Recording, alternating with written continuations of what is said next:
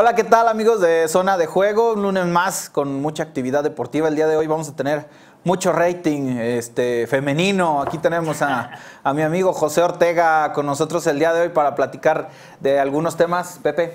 ¿Cómo estás, Pepe, mejor conocido en el ámbito del periodismo deportivo como Pepe Lotudo, ¿verdad, amigo? El Pepe Lotudo. El Pepe Lotudo, lo hemos escuchado en radio, en internet y pues es una de, en transmisiones también del equipo León. Hoy, hoy, lo vamos a poner a hablar de todo, de básquetbol, aparte experto en lucha libre, en, lucha libre y en, fútbol americano, amigo. Fútbol americano, no, no experto, digamos que somos aficionados, muy aficionados.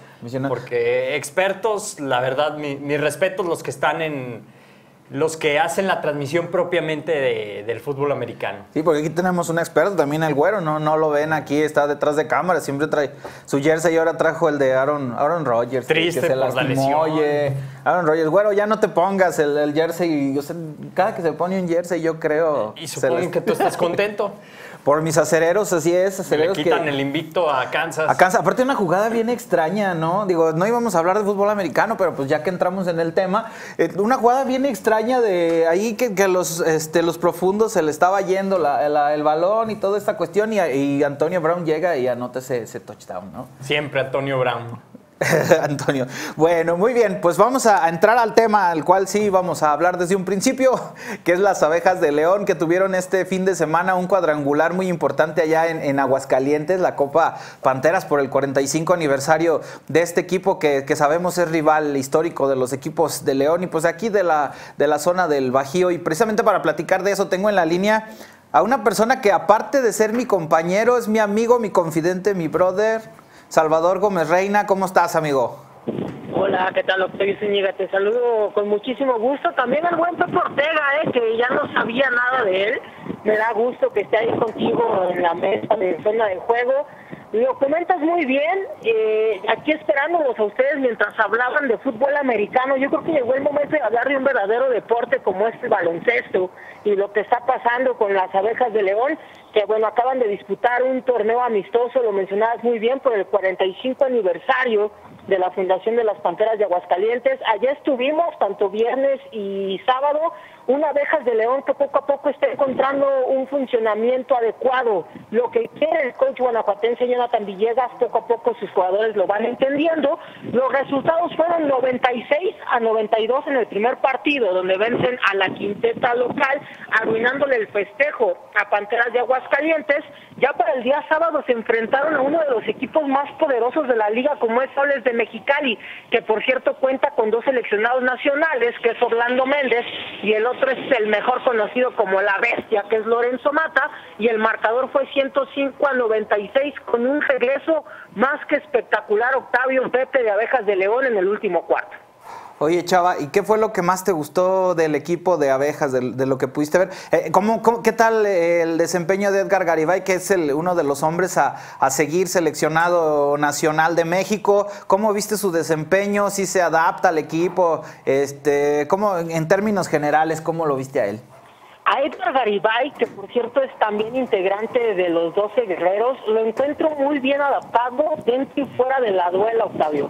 Es un tipo que ha encajado como anillo al dedo al sistema de Jonathan Villegas, se ha encontrado bien con sus compañeros en la duela aportando experiencia en todo momento, todo lo que ha jugado, toda la experiencia que tiene Garibay se ve cuando tiene minutos dentro de la duela. Y fuera de la misma también, ¿eh? ayer tuvimos la oportunidad de estar en la romería del Día de la Raza que organiza el municipio de León y el DIP León. Y veíamos un Edgar Garibay entregado, ¿eh? en todo momento conviviendo con la gente, en todo momento dando autógrafos, me parece que es un tipo que se ve contento, se ve tranquilo de llegar a una institución como lo es Abejas de León.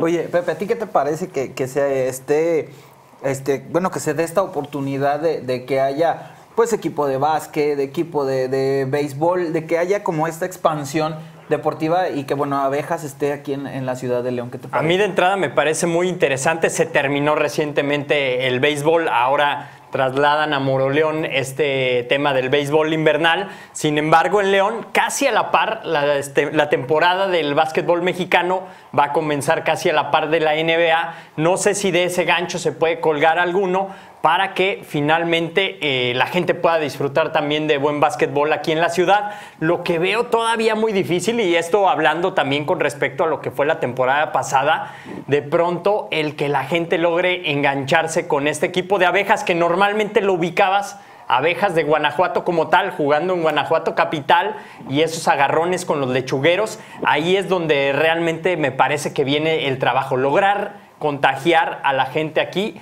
de tal forma que arrope a las abejas como su propio equipo y además también de que puedan disfrutar de buen básquetbol. Oye, y que, regresando al tema del fútbol americano, si San Diego Cargadores se, movió a Los Ángeles, que las abejas no se muevan ahí. Digo, es una cuestión, como dicen, del odio al amor hay un pasito, ¿no? ¿O, tú qué piensas, Chava?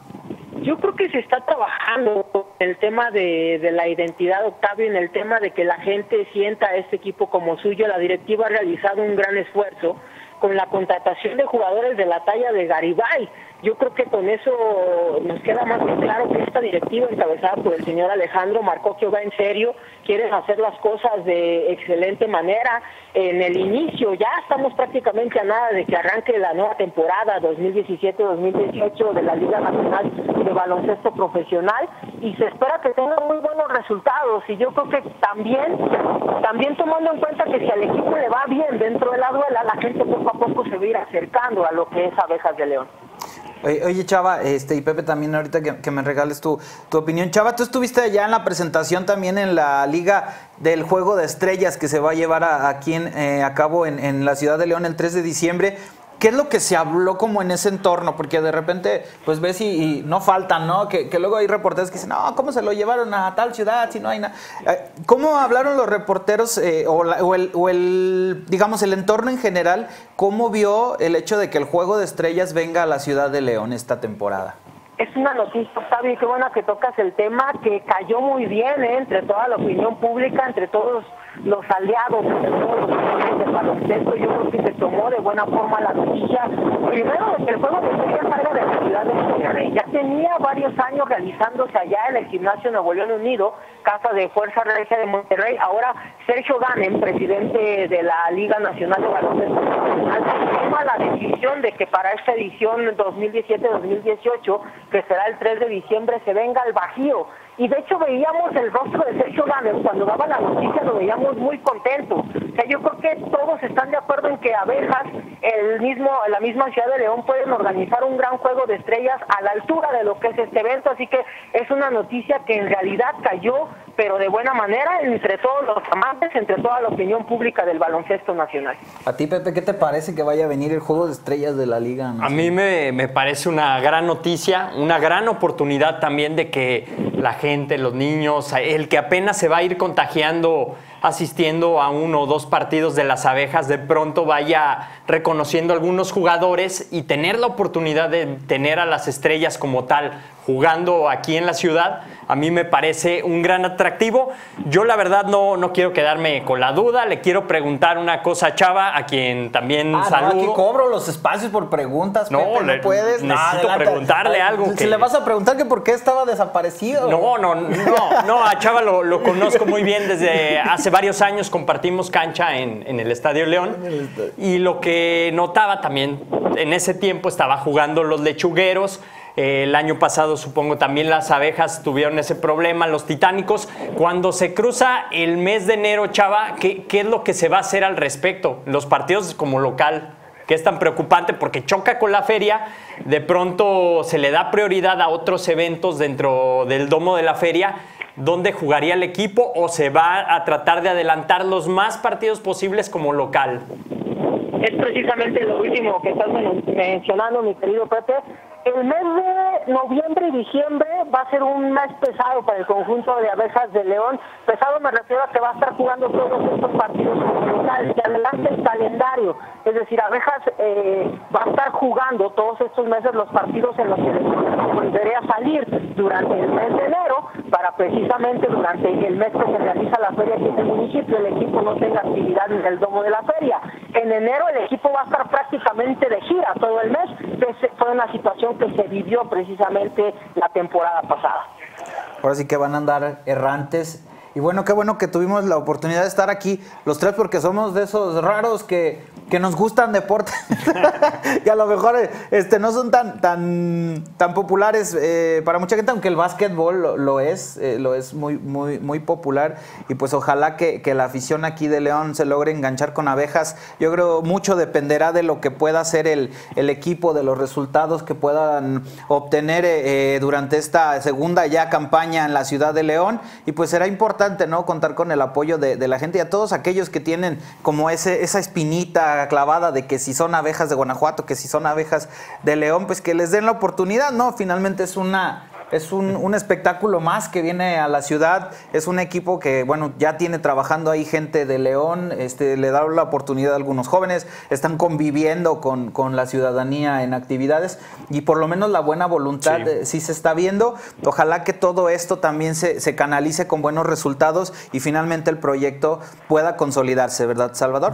Y si me lo permites, Octavio, rápidamente mencionar, ya, ya hablabas del acercamiento que ha habido con la sociedad, el trabajo que realiza en los temas sociales eh, es único, ¿eh? O sea, lo que realiza el equipo de baloncesto en todo momento es de llamar la atención para bien visitan escuelas, visitan hospitales, el año pasado de hecho estuvieron en un reclusorio, pues eso es un equipo que busca ese acercamiento con la afición. De hecho ayer parte del desfile en la romería de, Día de la Raza, parte del desfile el equipo lo realizó caminando y en ese lazo se paraban a tomarse fotos con todos los aficionados, daban autógrafos y absolutamente todos, ¿eh? la comunión que existe dentro del plantel, desde los jugadores extranjeros como es el caso de Reggie Larry, el caso de Steven Player, que vienen llegando también al equipo de Abejas de León, se suman a todas las bases nacionales encabezadas por jugadores como Michael Lizárraga, como Eder Zúñiga, como el jugador local Edgar Acosta. Eh, eh, no, quiero que se me olvide ninguno porque no quiero ser injusto con, parte del plantel de, Abejas de León que de verdad han realizado un, un, trabajo espectacular en el tema de las acciones sociales. Es único el trabajo que realiza Abejas en cualquier deporte. Muy bien, pues muy, bien, este, pues ojalá que estemos ya pronto platicando, ya, ya analizando también el tema este, ya deportivo cuando empiece esta temporada. Por lo pronto agradecerte, Chava, que nos hayas tomado la llamada, amigo. Un abrazo donde estés. Y pues ya sabes, aquí cuando quieras es tu casa. Un saludo, un saludo Octavio, también un fuerte abrazo al buen Pepe Cortega, en el bajo mundo como el Pepe Lotudo. Un saludo a los dos, un fuerte abrazo y ahí nos esperamos, esperamos verlos pronto, ¿eh? Muy bien, Chava, muchísimas gracias.